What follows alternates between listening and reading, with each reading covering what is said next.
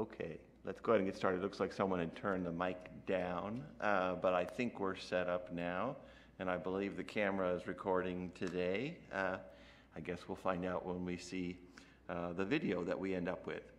Um, so uh, let me mention a little bit about uh, where we're at. Um, so uh, homework five has been released, you know, and it's due this Thursday. Then we're switching into midterm mode. So there, there is not a new homework that's going out this week. The next homework will go out next week. So we're switching into midterm mode. I released all of the materials on Monday. So on the exams page, you will find uh, there's a, a, description of the structure of the test. There's a sample midterm and a key, a cheat sheet that will be available to you, uh, a resource of old exam questions, just the questions, not the answers, but it gives you something uh, if you're interested in having some problems to work on.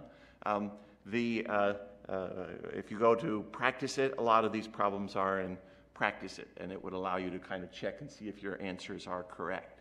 So then there's the actual midterm itself and the key. And again, I said don't look at the key until after you've taken the test.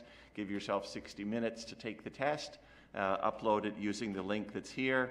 Uh, you'll be scheduling an appointment with your TA to spend 15 minutes discussing uh, how you did on the midterm uh, and uh, where you're at in the course. It's kind of a good uh, way of assessing your mastery of that early material and uh, getting uh, in touch with your TA, you know, in, in, case there's any issues, the TA might be able to help you uh, if there's kind of something that you need a little more help with uh, before we, we go forward. I am going to release a bonus assignment. It's only worth two points. It's, this, is, this bonus assignment is not something that is meant for people to kind of uh, up their score. It's a measly two points. It's more if there's anybody who's interested in exploring the issue and you have a little extra time. So on Friday, that'll be released, this bonus homework that's worth two points. It explores the use of inheritance to do a variation on what we've done before uh, uh, with the uh, hangman manager. It kind of follows up on some things that I'm going to discuss today in the lecture. Uh, so today I'm going to be covering some uh, material. I'm going to talk a little more about inheritance, uh, pick up a kind of a miscellaneous topic, uh, tell you a little bit about the midterm questions and how people have performed in the past. And Friday, I'm going to be going over uh, a sorting technique that's very important to understand. Uh, I, you shouldn't get through a course like this without having seen uh, a, an efficient sorting algorithm, and so that's what we'll do in Friday's lecture. Monday is an optional lecture, so I'm going to be lecturing on quicksort, which is a, a different sorting algorithm than I'll be covering on Friday. And that one is truly optional in the sense that, you know, it's for people who are interested in the topic and kind of seeing a little bit more. But uh, I, am not expecting that everybody's going to want to watch that lecture. A lot of you are going to want to be switching into the midterm mode and using that time uh, to uh, uh, practice, to take your exam, and to meet with your TA. So Monday's optional lecture. Wednesday we start back with uh, lectures that will be uh, relevant for homework six, which will go out at the end of next week. So uh, I show you here kind of the structure of the test. I wanted to switch to the uh, overhead camera for a little bit. I have something I wanted to show you there. So let me try to make sure that I'm looking at the same thing that you're looking at. So I want to do a couple of things on, uh, on the, the document camera. One is I wanted to talk about the different midterm questions. So this is actually average scores that I've gotten uh, for, I guess that goes back seven years, you know, for various midterm uh, questions that I've been asking. Uh, and actually, this column right here uh, uh, is the results that I had when I gave the midterm that I'm having you guys do. So uh, I usually aim for an average of 80, so this was very close to what I was aiming for. this, this is a, a pretty ideal test. Uh, your sample midterm was a little harder than I liked. That's kind of the results from the sample midterm. And I believe this is the results for some of the questions that are listed for tomorrow's section. The TAs are going to be going, doing their own review with you tomorrow for the midterm. Uh, and I, I believe those were the scores for those particular questions. So I'm just going to spend a few minutes to just go question by question and say a few words about each Uh, uh, so recursive tracing, we've, we've seen these kinds of problems. I show you some code and I ask you what output is produced or what value is returned for various kinds of calls. 15 point question. I used to get really high scores on this so that it has an overall average over time of 90%. But recently I've been able to ask somewhat harder questions. And this one was a little tricky, this one that, that's on your test. Uh, it had an average uh, that was closer to 80%, you know, score. Uh, so, uh, but you know, still relatively high for the, for the recursive tracing. Recursive programming, you can see over time, has had a, a lower average, 69.3%. So this is good. I'm going to ask you to write a recursive method. Uh, we had the two different sections on recursion, and that second section had examples of recursive programming questions. Um, there, a lot of students uh, struggle with the recursive programming question. Show us what you can show us. I mean, you can always write a header. Often there's an exception that you're supposed to deal with. Uh, often you can identify the base case, or there may be more than one base case, just by reading through the problem. All of those are worth points. So even if you kind of don't see the recursion, show us what you can show us on a question like that. Uh, and obviously, if you can do the recursive case, that would be uh, helpful as well. Uh, the TAs gave you their own advice about recursive programming. I find it helpful to make a table of different kinds of uh, different calls and what they produce, and trying to figure out the relationship between different entries in that table. You know, if it's something that involves an int, is there some relationship to the call on 10 versus the call on one of the lower uh, values in the table? So uh, that's the recursive programming.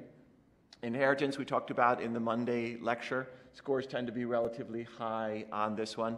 Uh, the TAs went over it with you in section uh, yesterday. Uh, remember, you have to understand the polymorphism idea, and there may be calls on super. You know, so those were things that uh, you know we we did not include when this was covered in the 142 class. The linked list problem uh, is uh, list nodes. You know, it's a before after a set of before and after pictures.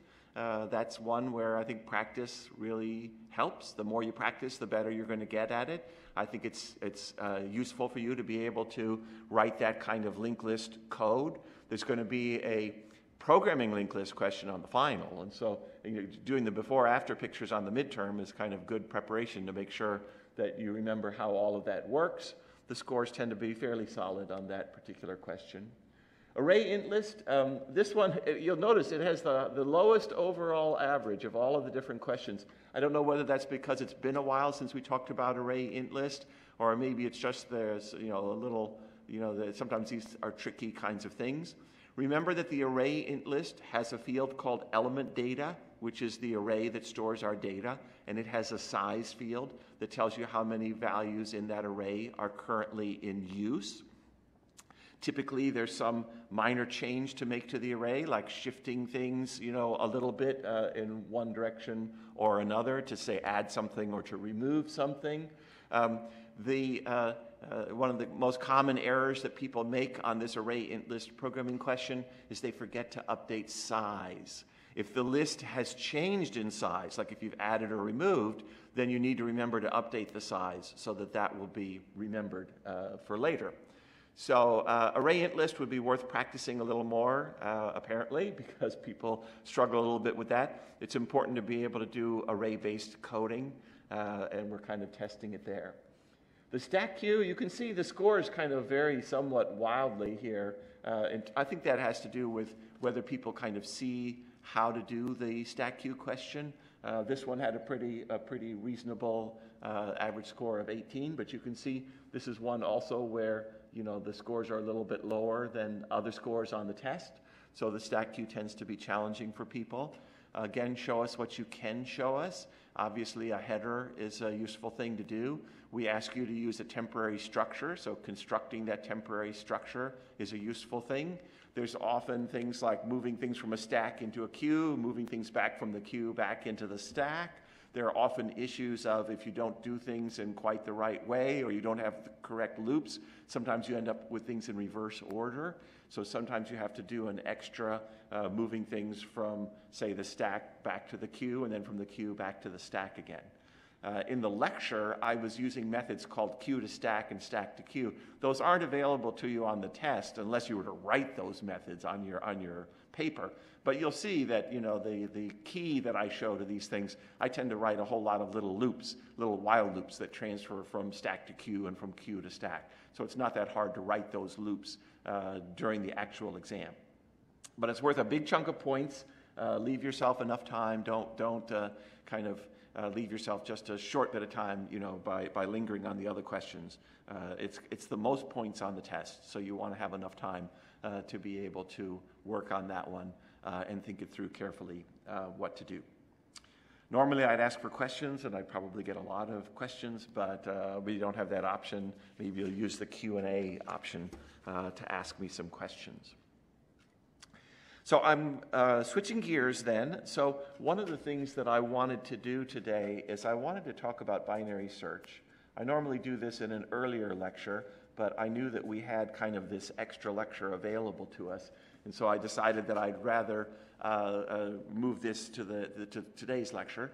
Uh, and I'm going to do something that I don't normally do with binary search, uh, which is I'm going to write the code with you. So we'll do a little bit more than we normally do. And it's a little dangerous because I actually haven't written the binary search code uh, during a lecture uh, before. So it could be that, it, that I'll screw up wildly and it'll be very embarrassing, but we'll see. we'll see how that turns out. So binary search is an important algorithm to understand. My guess is that most of you already know about binary search, so probably the, uh, what I'm about to say is review, but it's worth pointing it out anyway. The idea is that if you have, say, some sequence of values stored in an array, and if you know that that sequence of values is in sorted order, then you can search it in a very efficient manner. Uh, in particular, what we, what we saw in the uh, array int list class when we wrote index of is it started an index variable, you know, at the very beginning at the index zero, and then it bumped it up by one, bumped it up by one, bumped it up by one, bumped it up by one. That's known as linear search. And when we talked about the idea of complexity, I mentioned that linear search has a complexity of O of n because uh, if it's a failed search, it has to look at everything. And even if there's one occurrence of it, on average, it'll look at half of the things. So that other technique, the linear search algorithm, uh, is an O of n. Uh, this is a nicer uh, uh, approach to use. Um, in the 142 class, we tend to give this programming assignment that's a guessing game. Uh, and so you may remember the guessing game program where uh, we say, you know, I'm thinking of a number between one and a hundred. Uh, so, you know, uh, what do you what do you guess? I mean, kind of the bad approach to this would be, I guess one, and it, it, because in that game you're told whether the answer is higher or lower than what you've guessed. So suppose you guess one, and they say higher, two, higher, three, higher, four, higher, five, higher. That's doing a linear search, which would be a, a stupid way of doing things. You know, the pl- way to play that game is you guess 50, so you're kind of always looking in the middle you would guess a 50. Uh, and then they tell you whether it's higher or lower. And by doing that, you're able to kind of eliminate half of the possibilities. Like, suppose you're told it's lower, well, then you have half as many things as you had before to look at, and now you kind of consider this range right here. So uh, that's the idea, is it cuts in half every time how many possibilities there are to consider. So if there are n things uh, in, in the, the sequence, you know, you cut it in half with one guess, you cut it in half with another guess, you cut it in half with another guess. So, kind of, how many times do you have to divide by two uh, to get down to one guess? You're kind of asking n divided by 2 to what power gives you a 1. Or another way of saying that is n is uh, 2 to what power is kind of the way we would think about it. My hope is that you would remember from uh, K 12 math that that question mark is by definition the log to the base 2 of n. Uh, and so uh, we would say that the number of guesses that you have to make is on the order of log n. Uh, all uh, logarithms are a constant factor away from other logarithms. So log 2, log 10, log 18, it doesn't matter. Uh, all logs are the same. So uh, this binary search algorithm, we would say, is a log n algorithm. Uh, how good is that? Well, uh, one of the approximations that I like to remember is that 2 to the 10th is around 10 cubed. Uh, this is 1024, this is 1000. So they're pretty close to each other. Uh, and so if you were if you were trying to guess a number in a list that had a thousand elements in it, you would expect it would take you around 10 guesses. So a thousand things, 10 guesses. If it were a million things, 10 to the sixth, this would be 2 to the 20th. So a million things takes around 20 guesses. A billion things takes around 30 guesses. A trillion things takes around 40 guesses. So even, you know, when n becomes a trillion, you know, the, the number of guesses is still very well behaved. So that's why this is such a, a great algorithm to know. Uh, when you have something in sorted order, you obviously want to use the binary search approach. Uh, we're going to write the code in just a minute. So let me say kind of the way that this code works is we, we kind of keep track of a low and a high index. And all of our attention is going to be on the midpoint of that. Well, just like the 50 up here, kind of the halfway point. So we're going to find the midpoint between low and high and look there. And we're going to see, is that the value that we were searching for, in which case we found it. Uh, and if it's not the value that we're searching for, we see how the value that we're searching for compares to what's there uh, uh, at that spot. And so we either kind of scooch up low or scooch down high to eliminate half of the possibilities. Uh, we eventually, uh, if, if, you know, suppose we, we're not going to find it, we eventually are going to kind of reach a point with this sequence of values where low and high are equal to each other. And so when low and high are equal to each other, I mean, that's actually not, that, that, that could be a, a reasonable uh, position to be in. That would be uh, storing basically a sequence of one thing. And it could very well be that that one thing is the thing that you're searching for. So low and high being equal to each other, uh, we might still need to check kind of what's there at that midpoint. Uh, but then what we want to allow to have happen is we want low and high to pass each other. So we kind of want to have it be the case where we reach a point where uh, high is over here and low is right next to it here. We want to allow the high and the low to cross. That's when we would stop. That's when we would know that there's nothing left to look at. So that's kind of our ending position. When high and low have crossed, we know that there's an empty sequence, that there's nothing left to consider. Well, there's an interesting case that comes up, uh, or an interesting issue that comes up. So, uh, one of the standard conventions is that if you don't find something that you're searching for, you return a minus one. Uh, that's what the uh, index of does, the linear search does, and we could do that here too. But there's an interesting uh, alternative, which is uh, suppose somebody did a binary search and they found that this value was not in the list they might want to know where it belongs in the list. So uh, there's the notion of an insertion point, the insertion point. So uh, we might want to tell uh, the person where this value that we would be adding uh, should be placed. And you know that what's going to happen when we add something is we're going to shift values up. So uh, uh, you know this is something that would you have to kind of convince yourself or do a little bit of testing to convince yourself but let me just kind of point out that low is storing the index of the insertion point.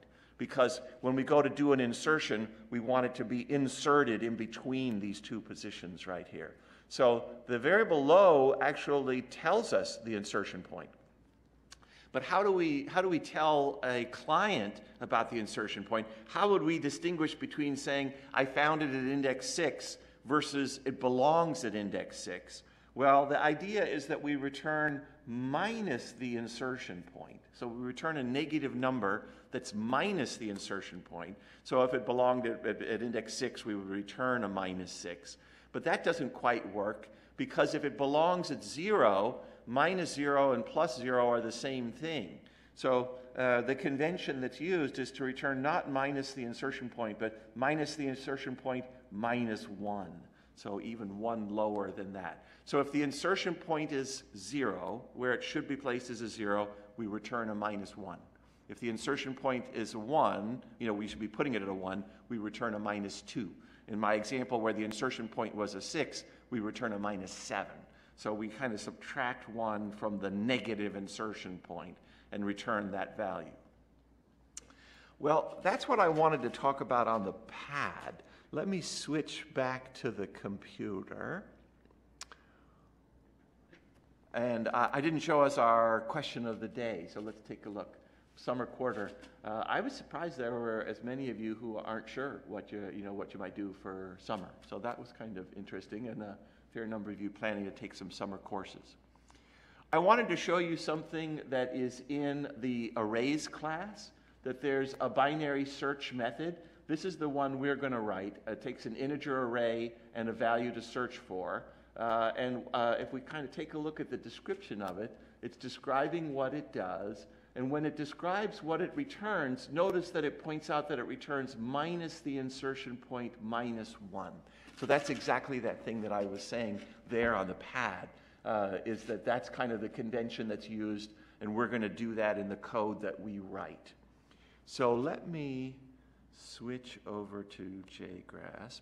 And I've written some code that uh, uses a random object to uh, put some various numbers into an array of length 30, and we print it out. Uh, and then it's going to call a method binary search that's searching for data after it sorts that array of data. So I'm using arrays.sort to do that. So our task is to write public static int binary search that takes an integer array that I'll call list, and it takes a value that you're searching for.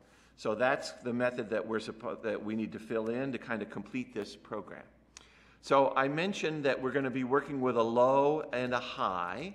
And initially, low would be the beginning of the array, a zero, and high would be the last element of the array, which would be list.length minus 1.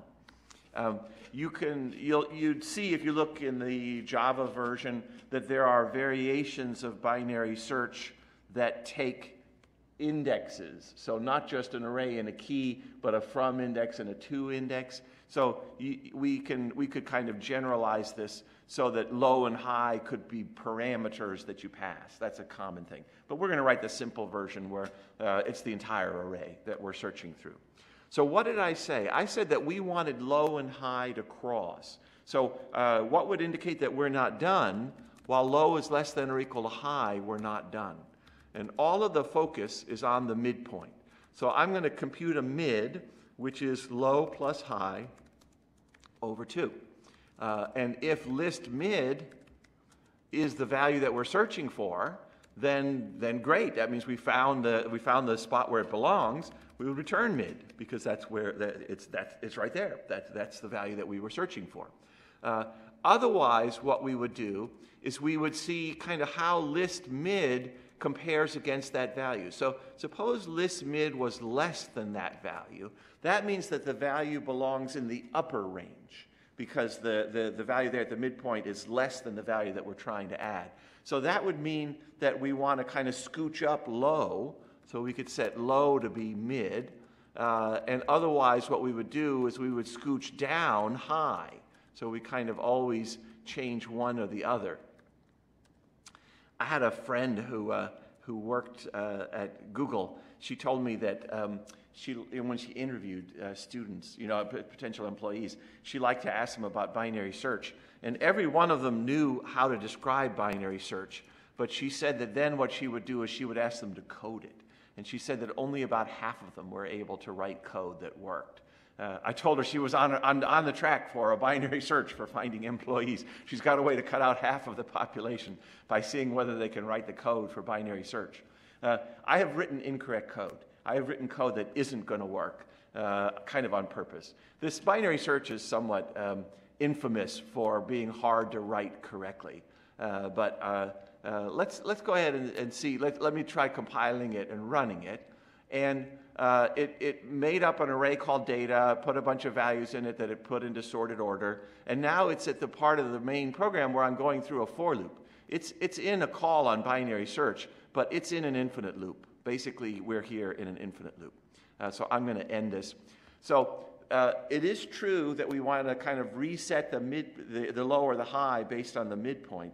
But think about that case you get to where low and high are on top of each other, they're, where, they're, where they're kind of both at the same spot. Well, then the midpoint will also be at that spot. So resetting low and high to be mid is setting it to what they already are. That's kind of the basis of the, of the infinite loop, is when we get down to low and high being equal to each other, then mid will also be equal to low and high. All three will be equal to each other, and we'll be stuck there in an infinite loop. Well, if you've checked list mid to see whether the value is there, you know that it's not at the midpoint. So you know that we can do better than setting low to mid. We can set it to mid plus one.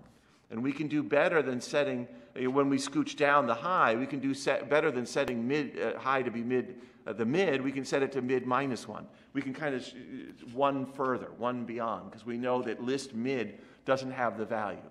So that turns out to be an important thing to do in order to have code that's going to work. Let's try compiling and running it.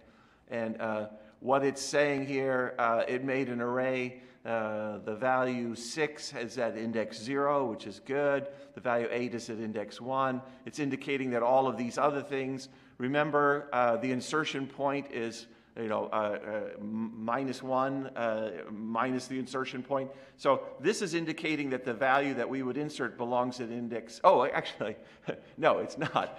this is all returning 1s right now because that's all I did is I kind of did the 1s. I haven't done the insertion point part yet.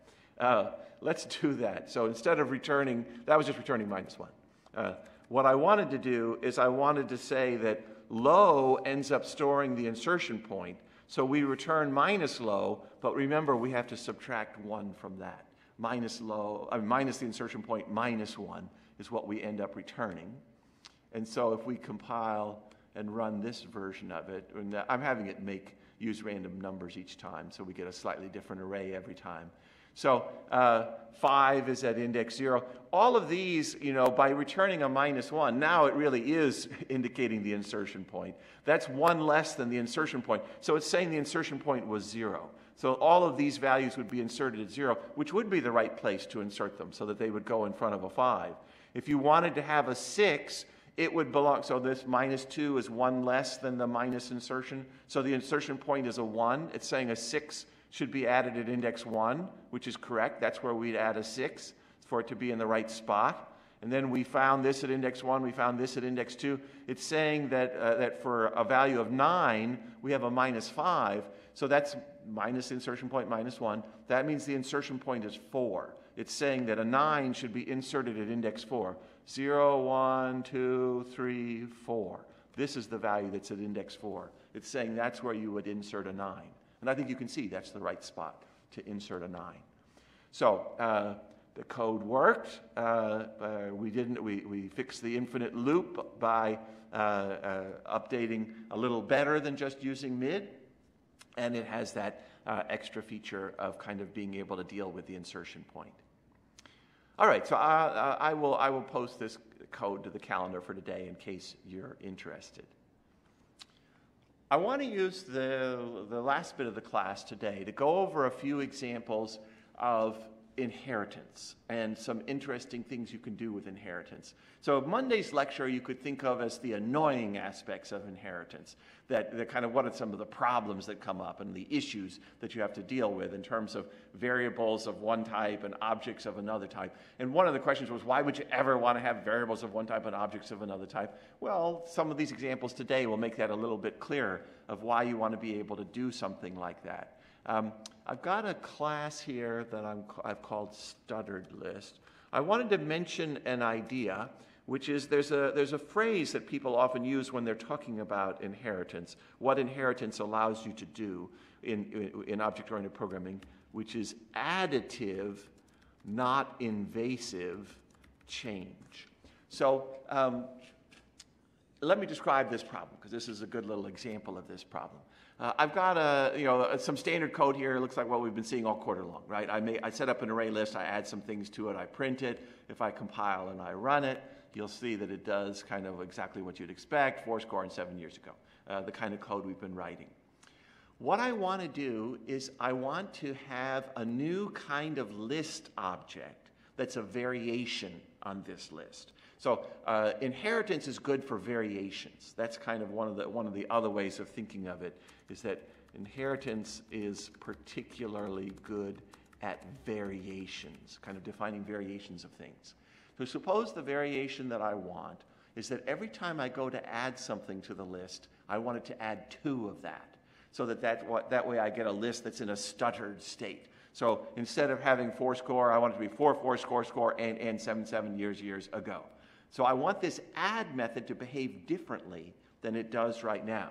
Now, you could imagine that what I'd do is I'd go and I'd find the array list class, and I would go into the class and change add so that it has a different definition. That would be like doing surgery on the array list class. Well, for one thing, you may not have access to the array list class, and no one wants you to do that anyway. You're not supposed to go in and screw up the array list class. I mean, you could make a copy of the whole thing and have your own version, but that's kind of not, not a good idea either because then you're not connected to the original.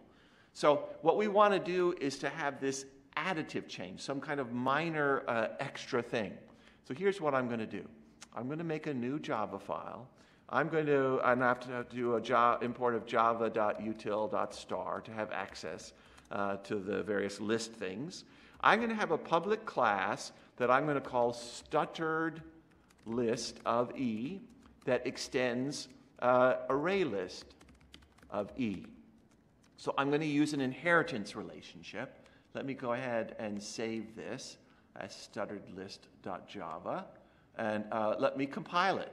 Uh, so it's empty. There's nothing in it whatsoever. But remember that one of the things that I mentioned is that one of the things to understand is that when you inherit, that, that basically means you're a pretty, you can be a pretty interesting object just through the inheritance relationship. A stuttered list can do all the things that an array list can do just because it extends it. So let me go ahead and compile, just show you if I compile and run, I mean, it's behaving exactly the way the array list did. So I can make my own list, and just by saying extends, I get all of that state and behavior. I get something that, that solves the array list problem. It does all of that stuff. Now, what I want to do is I want a variation on what it normally does. So uh, I want to deal with the add method. Uh, in our array int list, we added a value of type int. What are we doing here? We would be adding a value of type e, because this is the generic version. So adding a value of type E, how do we get it to add it twice? I mean, you might think you say add value, add value. You know, that would be one way to think of it. That should add it twice, right? No. Uh, that's the add method. And how, what does the add method do? It calls the add method, which calls the add method, which calls the add method, which calls the add method. That's an infinite recursion. When that first infinite recursion is done, it'll do a second infinite recursion. So that's not the way to do it. How would we do it? Well, we saw last time that uh, if you're overriding a method, so here we're overriding the built in add method, we can call the original version of the method by saying super dot. So I can do super dot add, super dot add. I want the array list version of add to be executed twice for my version of add. That's basically what I'm saying. If I compile, I get a strange little error message that it mentions that the add method uh, uh, has, a, has a different return type. It returns a Boolean. So basically, this is a kind of a weird thing you find out the more you do this kind of thing. You discover things about uh, the built in classes. Uh, it, it has to do with the way that this is all put together with different kinds of collections.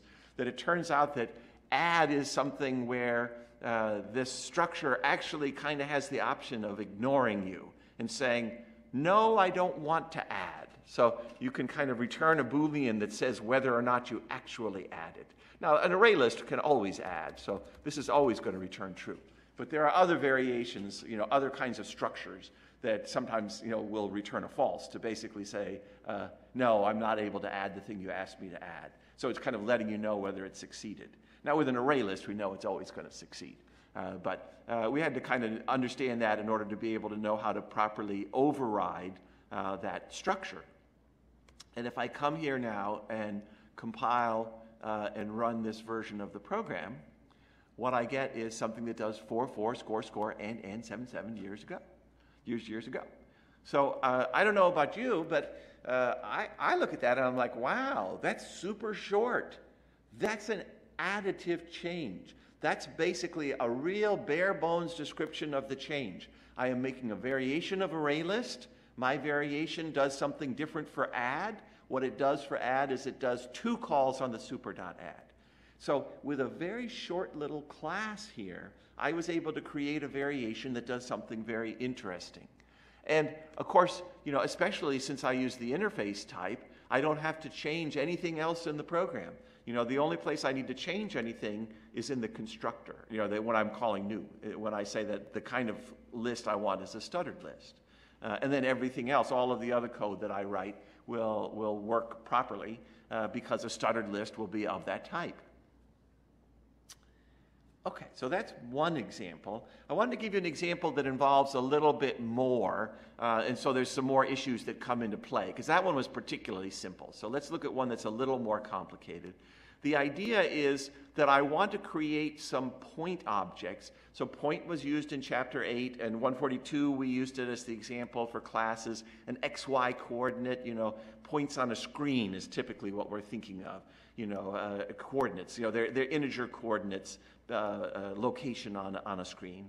Uh, and there's a translate method that these point objects have that says to kind of move the point around on the screen. So you give it a delta x and a delta y. I want you to change its x by a certain amount and change its y by a certain amount. So I move it, move the point. Well, suppose that I, you know, so here I'm setting up a couple of points and I'm translating their coordinates. What if I wanted to know how many times the point had been translated. That's not a method of the point class, so that's not something that's provided by the point class. So what I'm going to do is I'm going to set up my own custom class that I'm going to call my point. So I'm going to make a new Java class. I'm going to import from java.awt.star. That's the graphics uh, uh, set of utilities. And I'm going to have a public class called myPoint that extends the built-in point class. And the idea is that I want it to have an extra field. So it'll have the XY. It has all of the stuff that a point has. It inherits the state and behavior of a point. But I want it to have an extra counter that's going to keep track of how many times uh, the translate method has been called. So that means that the translate method that takes an X and a Y, uh, I'm going to want to count how many times it gets called. So that's what I want my version to do, is to keep track of that count. But I still want to do the translate command, so I'm going to say super.translate. So I'm going to have the super class, the original point class, do the translate the way it normally does, but I'm going to add the extra line of code, count plus plus. And then I'm going to have a public int get translate count uh, that will return that count. So if you think about what kind of surgery I would have done, so like suppose I, I wanted to make invasive change. I would have taken the point class, made a copy of it, and I would have gone in and added an extra field, added this count plus plus in the translate method, added this method that returns the count. Those are the changes I would have made to the point class. But why do surgery on an existing class? Much better to make a brand new class that extends that class. Leave point alone. Point's already done, it's debugged, no one should be changing point. We just want to have our variation. And so we basically describe how it's different. That's what inheritance allows us to do. Uh, I believe this is going to compile. Oh, oh, yeah, I wanted to save it. So let me go ahead and save this. Uh, it's not going to quite work. There's another issue that comes up. Uh, oh, I wanted to save it as my point.java. Uh, and then let's go ahead. Uh, oh, and then uh, let me compile. And, uh, oh, I didn't have, I, I, I, uh, for some reason, I mistyped. I didn't put the Y here. So let's compile. So it compiles, but if I go back over to the client code and I try compiling, I'm going to get some error messages here. It's, it's unhappy with the constructor. So it, it, it, actually, the first one worked, but the second one didn't. So remember how constructors work. And there is an important point in all of this, which is that uh, when you use inheritance, you inherit the state and behavior, but you don't inherit constructors. So what do we have here? when you, there's no constructors at all, so that means that Java will give us a default zero argument constructor. So it's kind of doing that.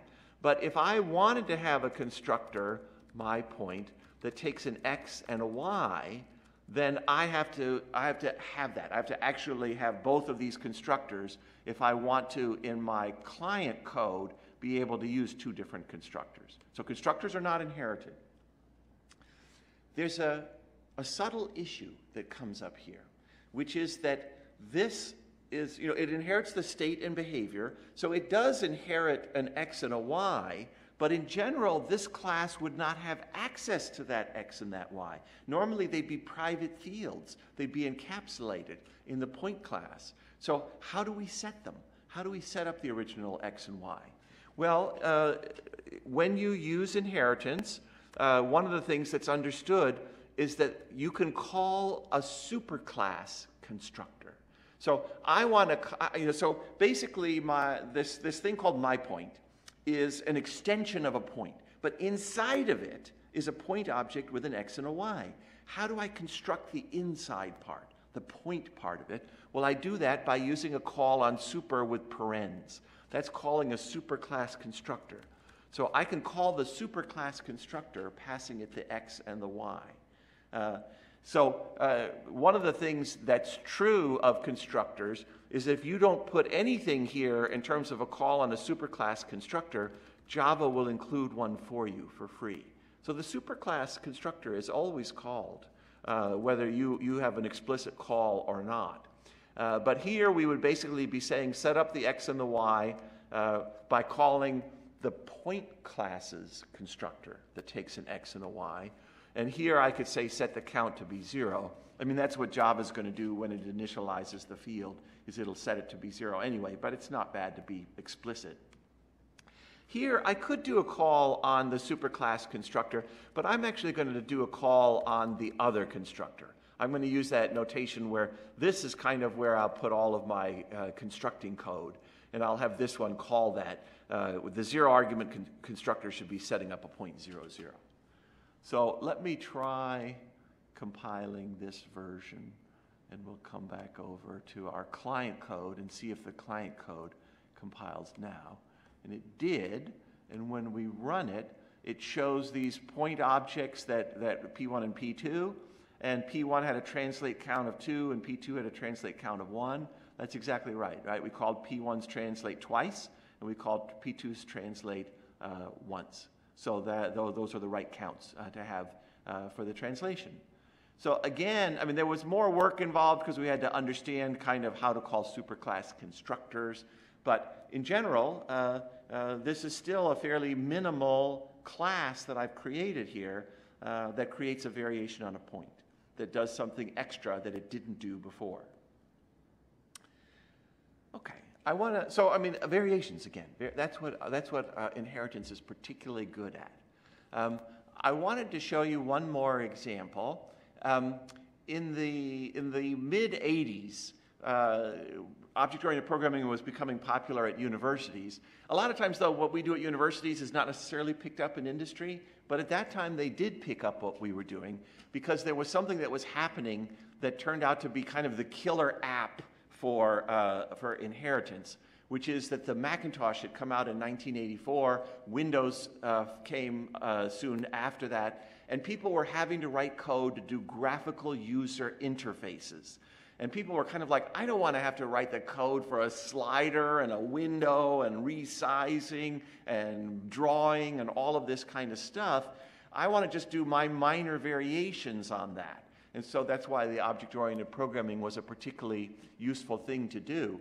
In fact, uh, at, at uh, Apple at the time, they created a program that they called MacApp, which they described as the program that does nothing in just the right way.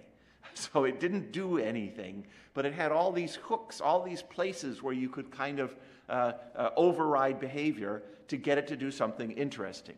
So uh, I wanted to show you that because the original version of AWT uh, has things that do that. So um, I have something here called DrawFrame, uh, which is using the AWT, the, the original graphics that Java used.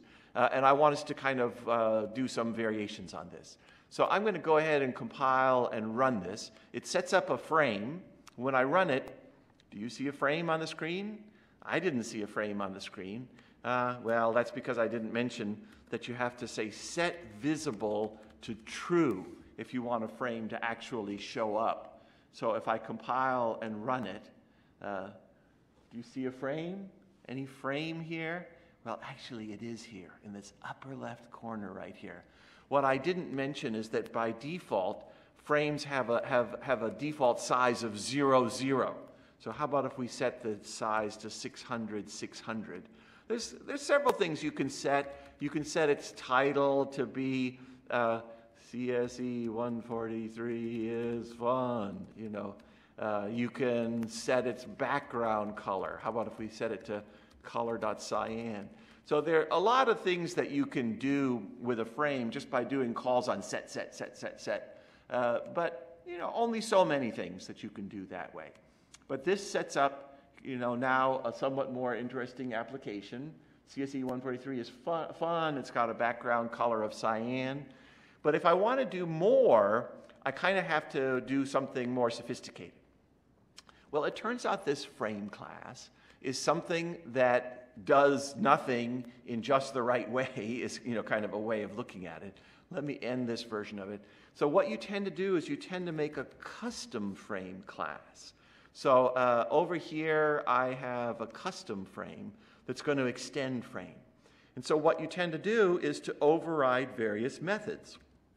Like there's a method called paint. What if, oh, that takes a graphics object G. What if we override paint? And for now, how about if we just do system.out.println, we'll say paint, uh, paint. You know, we'll just print, it, print that out when it's doing a paint. So let me compile that one. Let me come over here and recompile so it uses our custom frame. And if I resize this thing, look at all the calls that are happening on paint here. So every time you resize, it's calling paint. In fact, I could come over here to my custom frame and I could introduce a private int count and I could do something like this. I could do count plus plus and I could say paint count equals and I could kind of have it show me how many times it's been painted.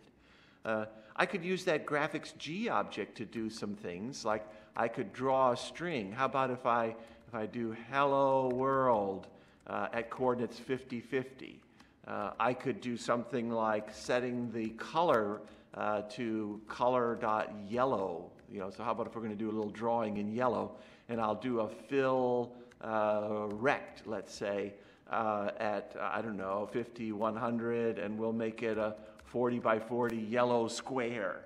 Uh, oh, let's do an oval. I think a circle's more fun. So let's do a, oops, no, that, uh, that should have been the set color, but uh, I wanted to do a fill oval instead of a fill rect. Uh, let me recompile this and come back over here and we'll run it again. And now there's my hello world text and there's my little yellow circle. And now as I resize, it's showing you how many times it's repainting, which is a lot of times. So it kind of does a lot. Um, well, the next thing I wanted to do is what happens if I go click, click, click, click at various points uh, uh, on, the, on, on the surface here? I wanted to draw a little blue dot every time I do that. Well, I can do that by overriding a method, public boolean mouse press, that takes an event object e, an int x, and an int y, and what I'm going to do is I'm going to say, give me a graphics G by calling a get graphics uh, object. And I'm going to do g.setColor to color.blue. And I'm going to do g.fill an oval uh, at the at kind of those xy coordinates that's a 10 by 10. But some of you who remember uh, graphics may remember that kind of to have a centered, you know, a centered oval, we do minus 5 here you know, because this is, this is, because uh, uh, it draws in the, you know, that's the upper left corner. We're specifying the upper left corner. Uh, if I compile this version and run it, it's warning me, by the way, that I'm using old stuff, but it's just a warning. Oops. Oh, not, excuse me, I, had, I, I, I did the wrong, the wrong method here. Uh, what I wanted to do was mouse down, not mouse press. What am I thinking? you got to override the right method in order for it to work. Uh, oops. I think I'm going to be able to maybe just show you this one little part of it. Uh, and then I'll, I'll, actually do a little more at the beginning of Friday's lecture. Uh, let's run this version of it. And now when I click